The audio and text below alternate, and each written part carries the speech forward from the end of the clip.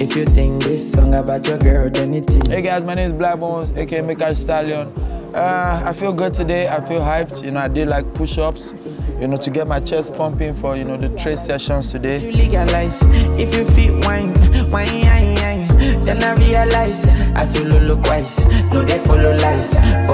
Beautiful vocals, cause you know I really, I really genuinely think I sound like you know uh, Chris Brown on a mic or John Legend sometimes, cause the vocals is really pristine. You know, so pay attention to the notes that I'll be hitting today. Okay? I just facilitate, a voice activate. Congratulate, a life appreciate it. Take a participate, take a back to me place. We Uh, the songs I'm looking forward to performing, you know, fake Nikes because it's real. I like performing back in uni, and then I have, you know, I'll, I'll be performing my two new songs, uh, Ice Spice and Bezos. So I, uh, I'm looking forward to doing those for you guys.